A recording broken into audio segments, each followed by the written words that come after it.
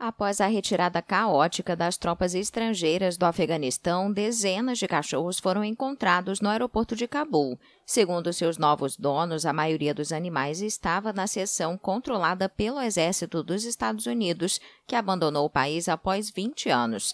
Alguns cães foram treinados para localizar explosivos. Funcionários de uma empresa encarregada da segurança no aeroporto estão cuidando e preparando os cachorros para a reabertura do terminal.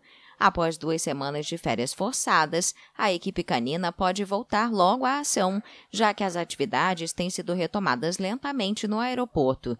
A Organização de Defesa dos Animais PETA acusou o governo dos Estados Unidos de ter abandonado dezenas de cachorros após sua retirada. A ONG fez um apelo ao presidente Joe Biden para que repatriasse os animais.